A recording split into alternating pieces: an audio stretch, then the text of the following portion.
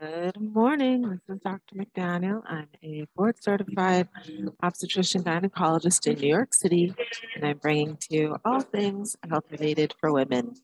Thank you for joining me at the corner today. I'm trying out a new forum because I'm actually at Starbucks. I don't know if you can hear the background. but I'm at the local Starbucks this morning having a cappuccino, and I decided uh, while I'm here, I'm going to do um, presentation, get my morning started off right. So uh, let's see, if you enjoy the content, please make sure you hit the like, subscribe, and follow buttons and uh, give me some feedback on what you enjoyed. If you had any questions or if you have ideas for new topics. I did get one viewer with an idea for a new topic and I'll have to, to do that presentation maybe in a week or two go through the questions again and uh, do the presentation on her her um, suggestion. So that'll be coming soon, a viewer topic. But today is part two on um, the resistant uh, vaginal yeast infections. So obviously, I don't know if anyone who, everyone who's watching this presentation actually saw the very first presentation, but uh, the part one was about yeast infections. We know yeast infections are the bane of existence for a lot of women. And um, the big deal with yeast infections is that they're becoming more and more resistant to the medications we have available. And that's because uh, traditionally, or I guess I should say historically, uh, historically, 97% of yeast infections were susceptible to um, I'm sorry, were our uh, can, candidiasis, um, hold on a second, 97% uh, of yeast infections were due to Candida albicans. So Candida albicans, historically, it was responsible uh, or the source of 97% of vaginal yeast infections or vulvovaginal candidiasis. Now, as time has gone on, around 15 years ago or so, the research came out that approximately 92% of yeast infections were due to Candida albicans. And as recently as around three years ago, so um, this is 2022, so around 2018, 2019, it wasn't that 92% of vaginal yeast infections were due to Candida albicans. It was more like um, about 80 to 85% of vaginal yeast infections are due to Candida albicans. So as you can see, as time is going on, more and more fungal or yeast infections are not due to the Candida albicans. We went down from 97 all the way down to 80 now. And I'm sure as time goes on, we'll see more and more yeast infections that are not due to Candida albicans. Well, you may ask, why is that a big deal? Who cares what type of fungus is causing the yeast infections? Yeast infections are yeast infections, but that's actually not true because all of the medications to treat, to kill off, and to clear up the yeast infections, all of them are directed at Candida albicans. All of the over-the-counter preparations, the insert creams, Monistat, um, all of those, Miconazole, uh, clotrimazole, all of those are directed at killing Candida albicans. They're not directed at killing other forms of vaginal yeast infections because those were very, very, fairly rare. Well, the only medication we had available was not over the counter, it was prescription only that could address the other, what used to be 3% and is now approximately 20% vaginal yeast infections was terconazole, and that went by the trade name Terazol. Terconazole is a vaginal insert cream or suppository or ovule, and they came and it comes in two flavors: the once night for seven nights and the once night for three nights. It's the exact same medication, just differing constant, excuse me, different concentrations, so that you can uh, clear up the infection more rapidly. So the Candida albicans is still responsible for the majority of vaginal yeast infections, but it's becoming less and less so. What I call the minor players are uh, Candida parapsilosis, Torulopsis glabrata, and um, another one that has been rising to the forefront. Um, there's a fourth one. Obviously, I did not write down, but I was going to save for today because I know it fairly well. Uh, but there is a fourth one that um, is fairly common. So it's Parapsilosis glabrata, uh, Torulopsis, and um, there's a fourth one. If I think of it, I will mention it later. Not that most people really care, but it's just how I am. Got to get those details in. So the catch, of course, is these are vaginal yeast infections that do not respond to the traditional medications that we have available, be they over the counter or the prescription. A lot of people who have had yeast infections are very familiar with Diflucan or fluconazole, fluconazole being the generic and Diflucan being the trade name. And they're both little pink pills. You take one, one pink pill, one time, one day, one dose, and that's it.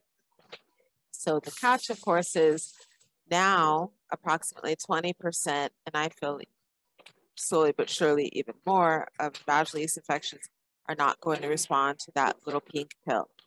Now, if you go to see your gynecologist, get a vaginal culture done, um, the catch is if you just get a regular vaginal culture done, most of them will just say yeast or candidal strains, um, and that's it. So you'll be told that you had a yeast infection and that it's been appropriately treated if you did the diflucan or fluconazole. However, if you don't get someone to do the test to break it down, you're not going to necessarily be appropriately treated if they're not aware that it's not a Candida albicans, that it's one of the other minor players, laboratory lepsis parapsilosis, and so on and so forth. So the catch is if you've had persistent or recurrent vaginal yeast infections. Diflucan seems to help a teeny bit or a little bit, but it's still not completely cleared up. Then you want to make sure that you ask them, are they checking for non-albicans yeast strains? Because if they're not, then obviously you'll need uh, a medication, either the Terazol or what I'm going to speak about briefly is a new medication that's come to the market. And um, if they have not done the breakdown, they can either just prescribe you the the additional the Terazol or this new medication, or you can get tested to see if it's actually an additional or a non uh, primary strain of yeast, or even if it's not yeast, if it's a, a form of bacteria. So the new medication that's come out is called Brexafemme, and the generic for it is Ibrexafungerp. It's also a one-day treatment, but unlike diflucan or fluconazole, where it's a one-time, one-day, one tab, one dose treatment, it's two tabs twice a day for one day. So it's still one day. It's just you have to take it twice a day, and it ends up being four tablets. But that's the least of your concerns if you're getting rid of a resistant vaginal yeast infection. So the Brexafemme is what we call a non-azole medication, and that's uh, because all of the medications that address Candida albicans are called azoles. If you notice, it was um, miconazole, clotrimazole, all of them are azoles at the end. Diflucan, fluconazole, all, they're all azoles. So they're all directed at treating Candida albicans. So if the medication you're taking has azole at the end of it, then it's only going to address one type of vaginal yeast, which is the albicans. It's not going to address the other 20% that are resistant now to azole or, or um, resistant to the traditional routine treatment. And these medications, this new category, is the first in class, which means it's the first time that this medication has been available on the market in its whole class. It's called a triterpenoid. So it's a new antifungal and it um, has been proven to completely clear up the non-azole responding vaginal yeast infections, all the signs, all the symptoms, itching, burning, swelling, um, discomfort, irritation, usually within three to seven days, but at the outside, 25 days. And let's see, it does come with a coupon. So you can go on their website for Brexafemme, get the coupon. And because it's a brand. Obviously, there's a generic. It just came out this year. It's um, at the least, it's going to be $30, which I think is a small amount of money to pay if you've been just plagued with the resistant vaginal yeast, just uh, won't go away. So needless to say, this medication, just like fluconazole, are both uh, restricted for pregnancy. So you're not supposed to take them if you're pregnant or um, if you've had it once and you have any kind of weird reaction, then you're supposed to avoid it because if it is a sensitivity or an allergy, it will get worse with repeated uh, exposure.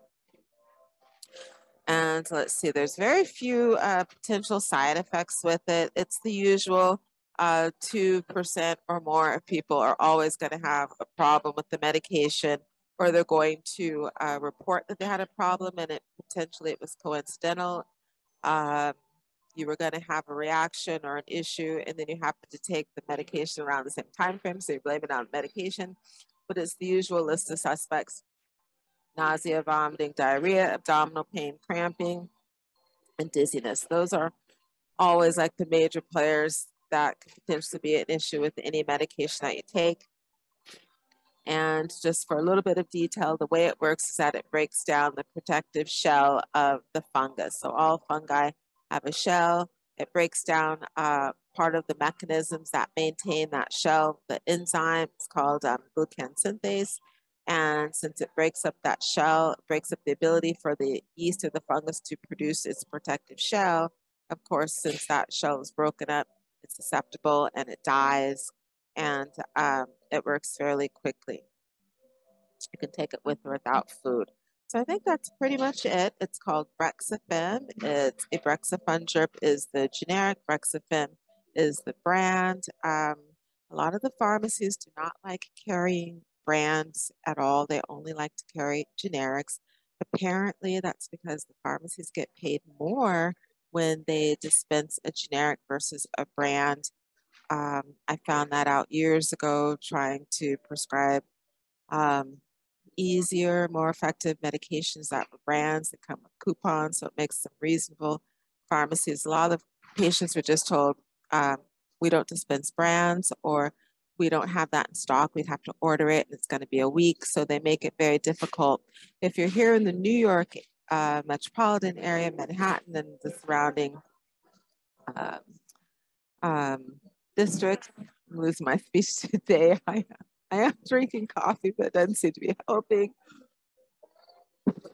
Sorry, I had a late night last night. got about four hours of sleep. Um, if you're in any of the boroughs, Queens, Bronx, blah, blah, Staten Island, you can have your physician, your gynecologist order the Brexafemme through the capsule. Capsule delivers to all of New York City, including all the boroughs. And they also started delivering to a few areas in New Jersey. I'm sure they deliver to like Jersey City and such areas that are close by. But Capsule is really good. I I don't work for Capsule. I don't get any money from Capsule, but I've been prescribing brands like this to Capsule because they automatically apply the coupon.